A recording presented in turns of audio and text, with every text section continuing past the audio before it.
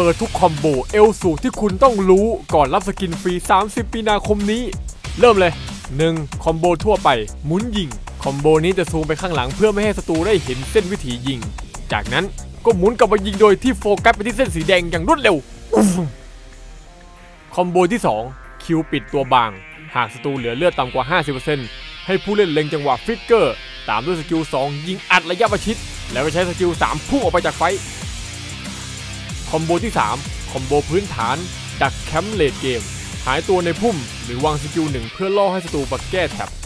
จากนั้นตีปกติ skill 2 skill ulti และจากนั้นก็ flicker เข้าไป skill 2เพื่อปิด kill ปั๊บลองดูนะเด็กๆ